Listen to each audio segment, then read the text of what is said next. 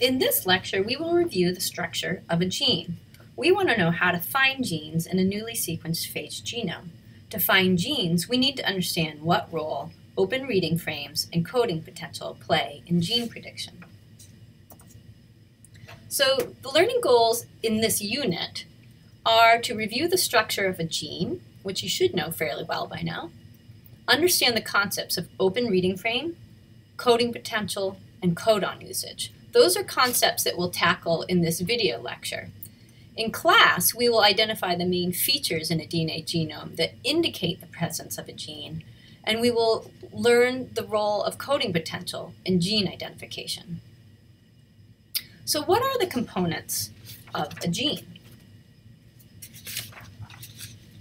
A gene, we know, begins oops, with a promoter, a regulation sequence that initiates transcription of the gene, a plus one or transcription start point, a ribosome binding site, an open reading frame, the region that contains the coding for the protein, and finally, something that we didn't talk a lot about last semester is the transcription terminator. So let's review in more detail the components of the promoter. The promoter sequence contains two hexamers, a minus 10 box located approximately 10 nucleotides away from the plus 1 or transcription start point. And then there are about 16 to 18 bases, spacers between the minus 10 box and the second hexamer, the minus 35 box. Now this is the model of an E. coli promoter, and in another week we're going to adjust this model a little bit for that of a mycobacterial promoter.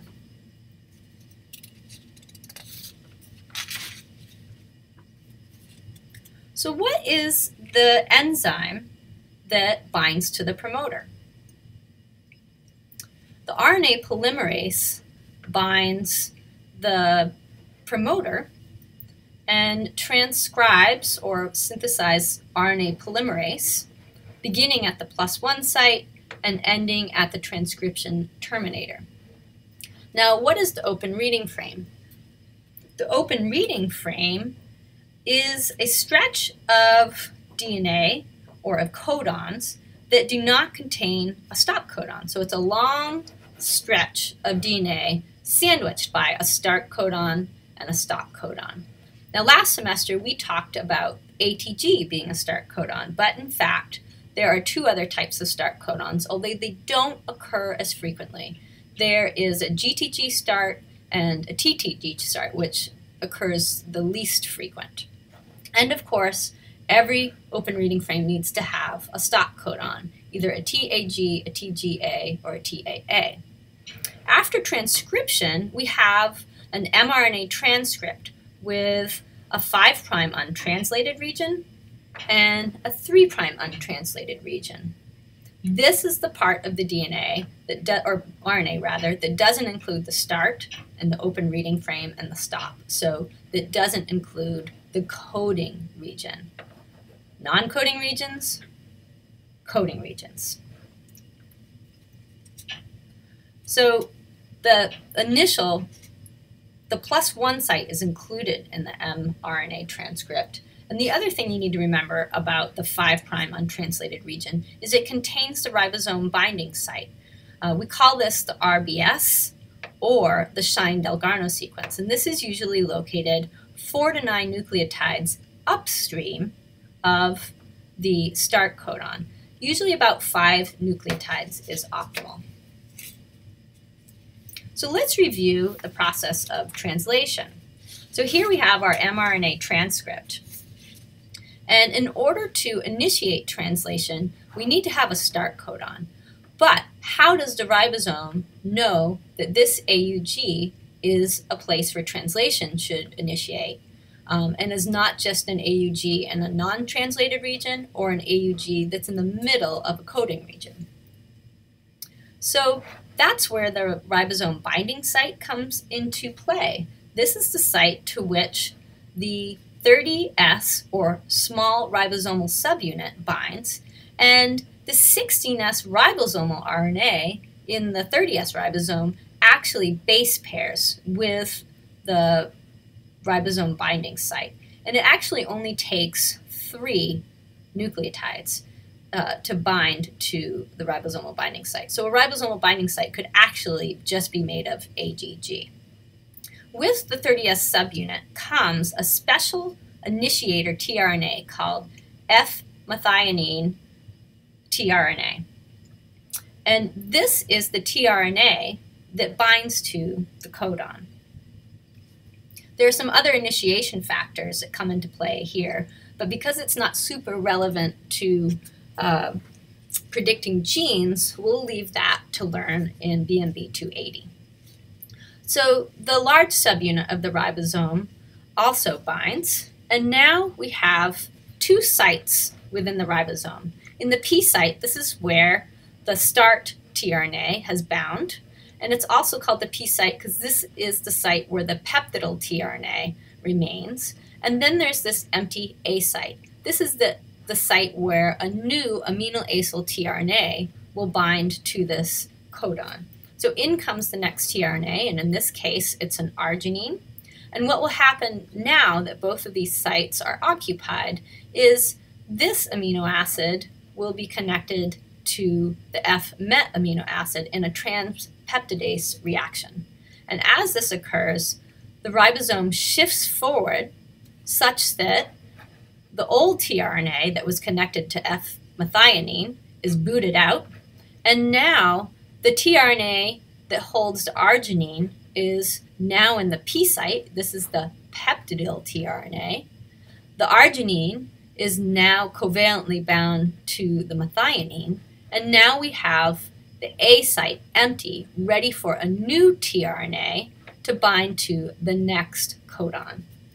And so in comes uh, a glycine tRNA. And this process continues until the ribosome comes across a stop codon and the ribosome dissembles and the protein is released.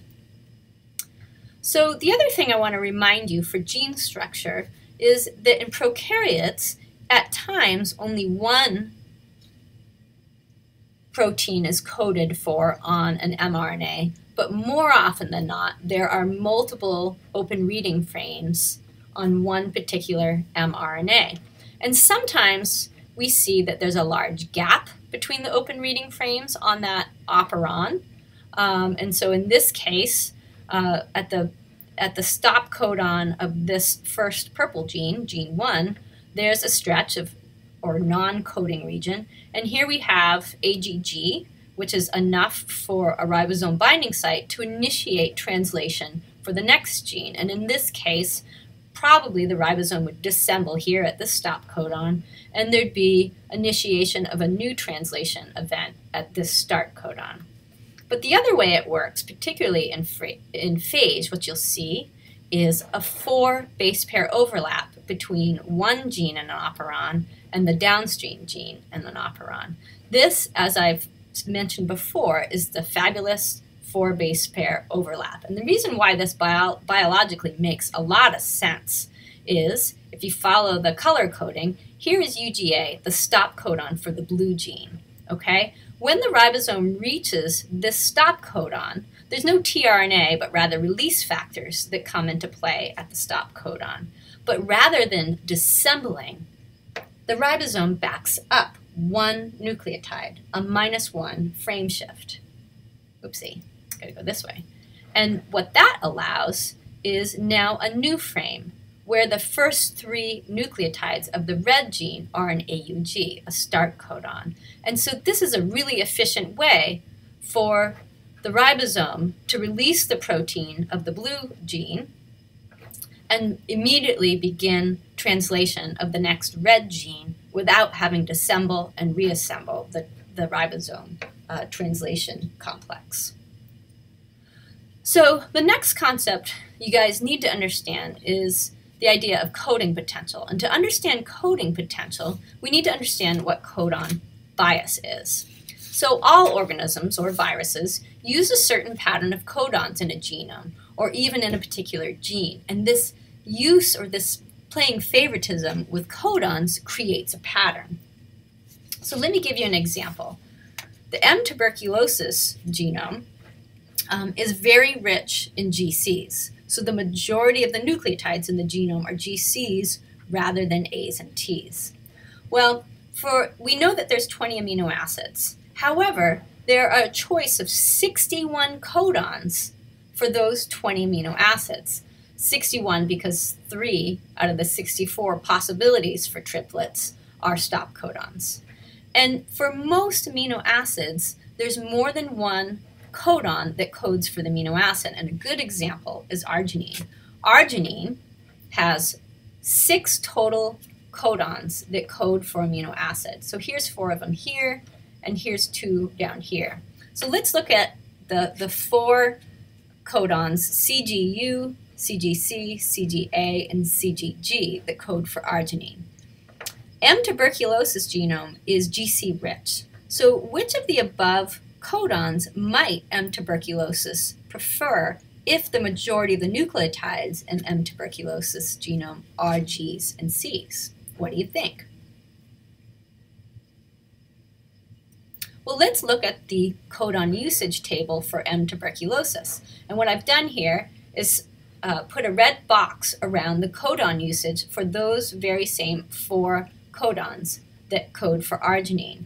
And what we can see is, is that the codon CGC, all C's and G's, has a very high frequency, 2.64. And the second codon, or most favored codon, is CGG, 1.95. So the codons that are entirely C's and G's are favored over those that have the A's and U's.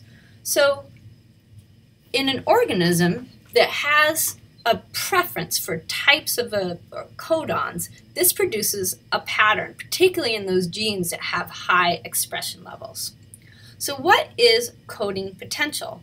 Computer programs can determine the potential for coding in a genome, coding regions of a gene, based on codon usage detected in a genome, or based on known codon usage from an organism like M. smegmatis. So the codon bias produces a pattern in the genome of the frequency of certain codons. And the computer can learn from the codon usage, say, of M. smegmatis, and use those paths, look for those same patterns of codon usage in a phage genome that infects M. smegmatis.